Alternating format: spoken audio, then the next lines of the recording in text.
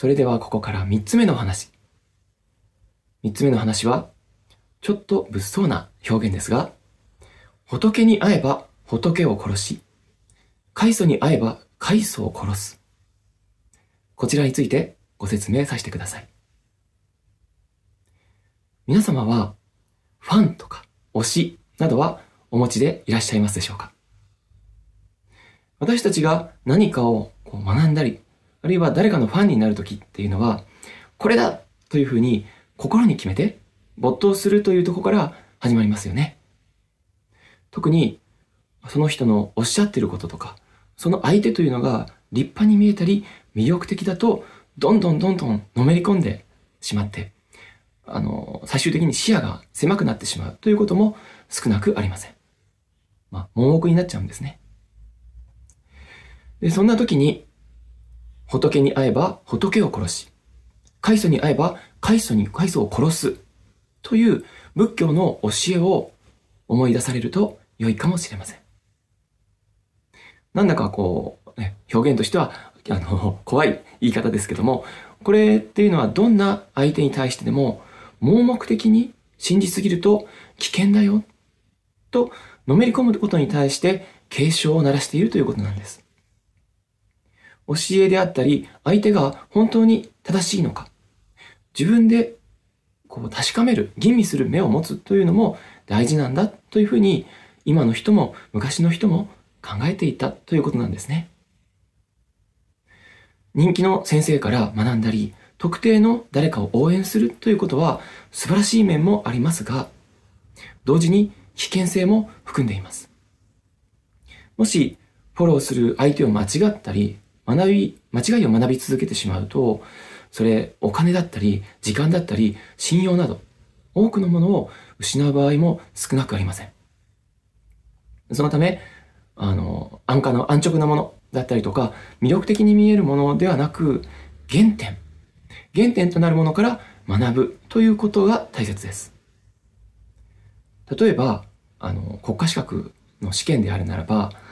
えー、予備校なんかが、こう、作った予想問題集あったりすると思うんですけど、そういうものではなく、まず、過去に出題された過去問、過去の問題集、これに取り組むことが第一ですよね。人間も同じで、地位だったりとか、肩書きというものではなくて、えー、実体験、実績や、その経験値、これで判断して見抜く目を持つということが大切です。それでも私たちは人間ですから、間違った選択というのをしてしまうことも少なくありません。そこでお勧めするのが、日本的なあの学び方の一つとされる、主、派、理というものです。昔私は茶道の方、こう習っていたんですが、これは華道とか武道と同じく道、道と名の付くものを収めるときの基本的な考え方、学び方の姿勢です。まず、基本となる教えを徹底的に真似する。これが主の段階。次に、その教えから脱却してこう離れていく。壊す。これが、派の段階。最後に自分自身のやり方、そしてそういった方法論というのを見つけて確立していくという理、離れる。この段階に至って初めてマスターしたという意味です。つまり、最初から離れるということを織り込み済みで相手から学ぶ、相手についていくという方法なんです。最後は結局は自分自身なのである。という気持ちを持っていれば、まやかしに足元を救われにくいと言えるのではないでしょうか。あくまで参考にするという姿勢が大事なのであって、そこに執着をしてしまうと、視野が狭くなって自分なりのやり方、視点を持つということが難しくなってしまうということです。そう考えると、お釈迦様の教えというのも、実は絶対ではないということになりますよね。もちろん、今こうやって話している私の内容もそうであると言えます。はい。では、四つ目の話。氷大きに水大しというなあ、まあこれ前後なんです。前後ではないですね。法話なんですけども、これはですね、あの、まあ、なんでしょう。有名な皆さんも知ってらっしゃる構想が言った言葉なんです。夏場なんかになってくると、こう、コップ、まあ、コップが当時ないんでしょうけど、桶ですかね。氷の入った、まあ、冷たい飲み物欲しくなりますよね。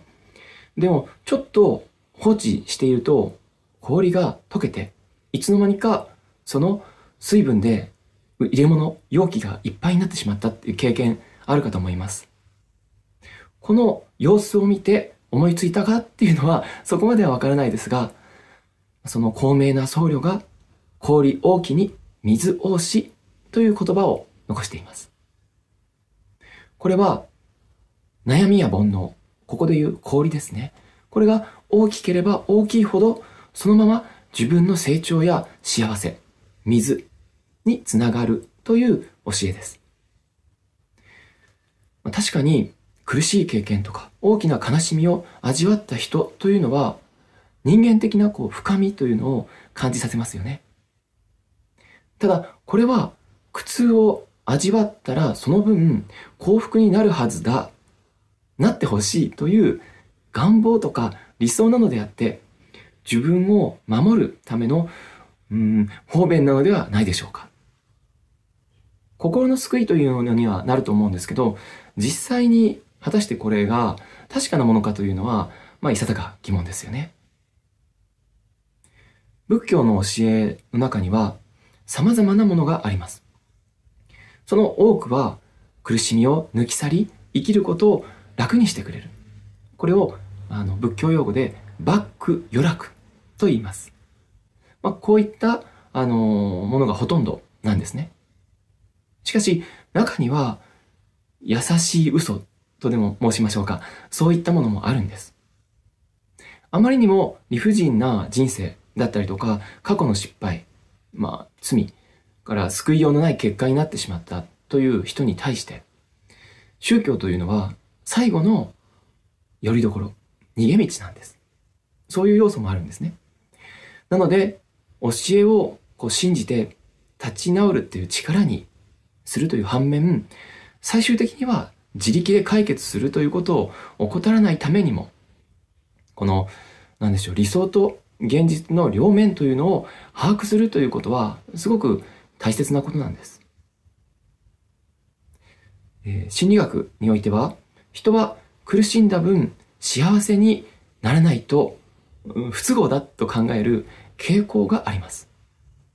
これをちょっと難しい言葉で表現すると、認知的不協和の解消と言います。頑張った分報われたいという人情は確かに理解できますよね。ただ、その人固有の苦労というのは経験値というものにはなるかもしれないですが、あの、あくまでそれってその人固有のものであって、その人だけのも経験なんです。みんなに通用するというあの一般的な教えというものにはなりません。そして苦しみには、うん、学びとなるものとならないものっていうのがあります。例えば、まあ、僧侶の中にでもですね、特に昔の僧侶さん多かったそうなんですけど、修行じゃなくて苦行ばかり、あの、されていた、取り組まれていた人もいらっしゃいます。さっきも少し話しましたが、修行というのは自分と向き合ってその成長するためのものです。ですが、苦行というのは単にこう痛みに耐えるもので、その意味合いっていうのが異なります。苦しみを乗り越えれば我慢強くはなるかなとは思います。ですが、あの、それは成長というのとは違いますよね。そして一方で、幸せというのが続くと不幸になるということも、これもありません。よく、あの、言われがちですけど、実はないんです。あの、宝くじの高額当選ありますよね。あの当選者の多くというのは実は不幸になる傾向がかなり強いと言われています。それはもう事実として。で、この理由は非常に単純で金銭感覚が麻痺してしまうからであって、別に高額当選をして幸せを使い切ったからっていうわけではありません。このことからも、不幸と幸福の量的な因果関係っていうのは、まあ、ないんです。ただ、氷大きに水大しのこの教えというのは、今、現に苦しんでいる人を励ます。という意味においては、かなり力強いものではないかなというふうには思います。では、前半最後の説法。自頭明、法頭明というものについてお話をさせてください。仏教の基本的な考えの中に、自頭明、法頭明というものがあります。これは、えー、お釈迦様がですね、最後に残した言葉であるというふうに言われています。自頭明というのは真っ暗で進む道が見えないという中でも自分自身を頼りに明かりとして進みなさいという意味です。で、周囲に依存せずに自立心を持ってそれを頼りに生きることの大切さというものを説いた教えです。そして次の法灯明。この法というのは真理とか、あの、ま物事の正しいこと。つまり、ここで言うと仏の教えですかね。それを明かりに進みなさいという意味です。自分に迷いがあって、行き先、行き着く道が自分でもわからないという時に、これまで学んできたことを頼りに進めばよいということです。で、このように釈迦が亡くなる直前に弟子から、これから私たちはどうすればいいのかわかりません。教えてください。というふうに聞かれた時の教えというのが、自分を頼りにしなさい。そして、その学んできた教えを守りなさい。ということだったんです。釈迦の素晴らしいところというのは、法灯明だけでなくて、ちゃんとその前に自灯明ということを推奨しているということではないでしょうか。えー、まあ、人というのは生きていれば迷い、悩んで、道が見えなくなってしまうということも多々あります。しかし、同時に、こう、私たちは自然治癒力がありますよね。怪我をしたら自然と回復していくように。精神、心の自浄作用というのも持っています。その力を信じずに、安易に他人に、教えや他人だったり教えにすがるというのではなく、まず自分の中の答え、これを探す。自分の中に答えを見つけるということが大切なのだということです。実は、釈迦は、あの、弟子に、あの、まあ、育てていたんですね。たくさんの弟子いたんです。で、その中に、仏教の教えをもう厳格に守ろうとするあまり、教えにこうついていけずに、なんというか、まあ、自害する。あの、お互いですね、自殺っていうのは実は禁じられていたので、仏教では、あの、相手にその刀で首を落としてもらう。っていうことが、まあ、たくさんあったみたいですね。で、それを見てきた経験があるもので、だから、まず自分を頼りにするということを伝えたのではないかなというふうに私は思います。ただ、まあ、そうは言うものの、何もないところから、無から有を生むということはできませんよね。そもそも真理が一体何なのかということを知らなければ、明かりにするものすらわからないと言えます。そこで、まず、自らの学んだこと、学ぶ姿勢と経験値を積むというところから始めてみる、スタートするというのが大事なんではないかと言えます。教えというのは何も仏教に限ったことではなくて、例えばこの、まあ、大自然であったり、あるいは、まあ、小さな子供さんからでも学ぼうと思えば、自分の価値観、自分の血肉にするということはできます。勉強であっても、最初から答えを見て暗記すると、あの、いつまで経っても応用力とか思考力っていうのは、あの、育たないまんまです。人生というのは暗記科目ではないので、答えが分かっていても対応できないことって非常に多いんです。そこで、まず努力をした上で、どうしてもわからないこと、それがその時には先人の教えにヒントを得るというのが理想的なのではないかと思います。宗教というのは時として人間の理性を奪ってしまう。考える力を弱めてしまうという側面もあります。そう考えると、この自頭名、法頭名というのは自分自身と宗教とのこう線引きの重要性というのも説いている、含んでいると私は思います。あの日本国憲法が政教分離を採用しているというのは、うん、国家の堕落というのを防いで民主主義というものを確立するということが本質にあると言われています。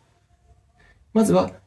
自力で自分で考える力を養うということが大切だということですね。